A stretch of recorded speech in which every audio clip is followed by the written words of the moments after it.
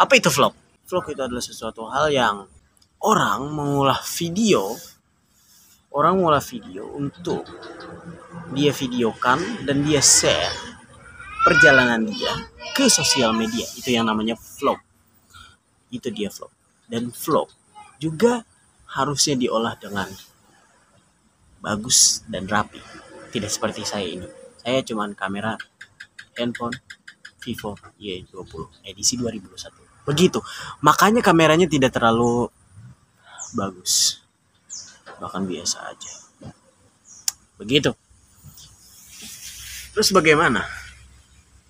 Ya saya terus so, selalu semangat bikin video.